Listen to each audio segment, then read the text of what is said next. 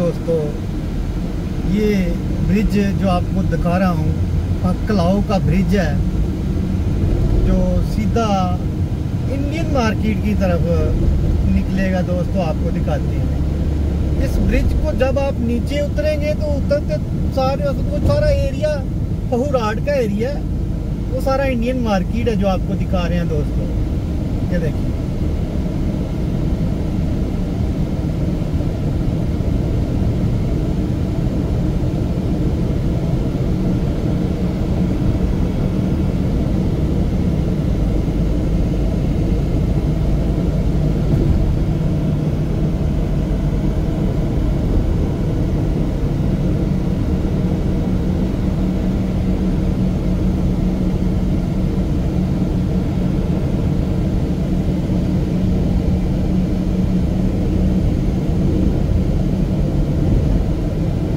देखिए दोस्तों, ये शुरू हो गया ये।